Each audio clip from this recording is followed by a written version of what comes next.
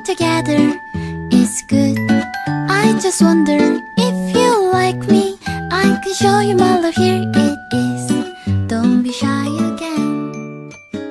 Hai guys, welcome back to my channel Cahaya Oke guys, kali ini guys aku bakal ngasih masih cara membuat baju baru di Sakura School Simulator. Langsung kita mulai. Nah, pertama-tama kita ganti dulu ya guys bajunya. Untuk baju di sini bebas kalau aku mau menggunakan pakaian casual wear 3. Yang ini ya guys, terus kita jangan lupa beri warna. Untuk warna di sini aku pilih warna biru. Terus ini warna putih. Nah, kalau udah kalian tinggal ke rumahnya si boy deh. Kalau udah kalian di rumahnya si boy, di sini boynya harus menggunakan pakaian ninja seperti ini ya, guys. Nih.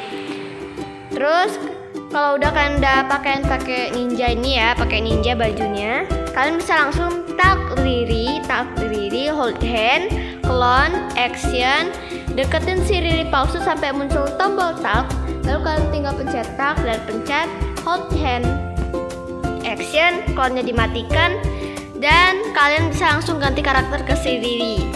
Nah, ini otomatis langsung ada dua Riri ya, guys. Di sini kita deketin Riri palsu ya, terus kita tahu, kita puji, baru kita commit me biar dia tuh mau kita ajak gitu loh, guys. Mau kita on commit me. Kalau kita nggak puji dia gak bakal nggak mau.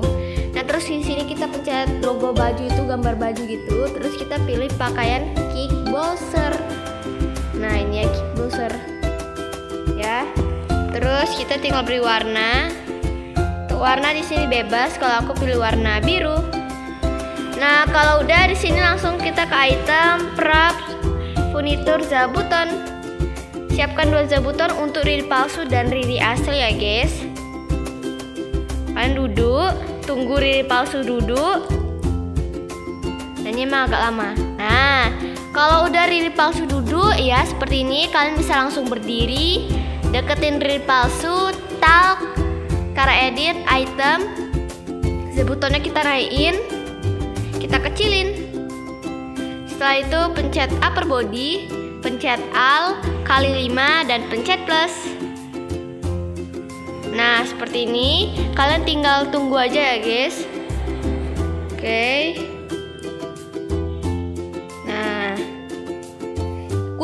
Tuh pencet tombol tombol al aja ya guys. Kalau kalian tidak pencet tombol al itu bakalan tidak bisa guys, gak berhasil itulah.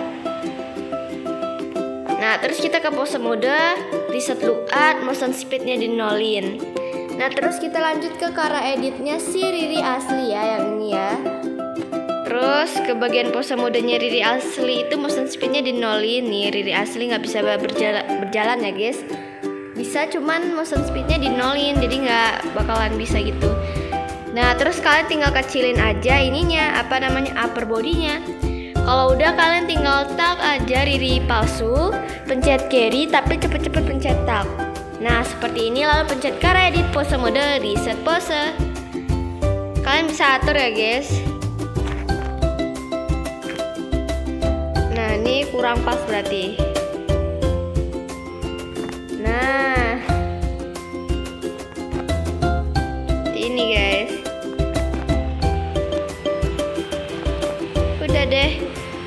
Terus kalau kalian mau tambah hiasan juga boleh.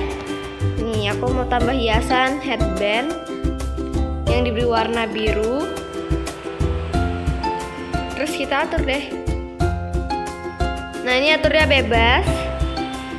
Mau kayak aku atau mau kayak gimana gimana bebas ya. Nah, seperti ini ya guys. Nah guys, ini aku udah atur ya guys. Tuh nanti jadinya kayak gini. Terus kalau udah kita tinggal pencet tombol silang ini ya. Terus cara edit pose mode, motion speednya bisa kalian langsung kembaliin ke angka satu ya ke normal itu dengan cara reset motion speed yang ini. Nah, udah deh.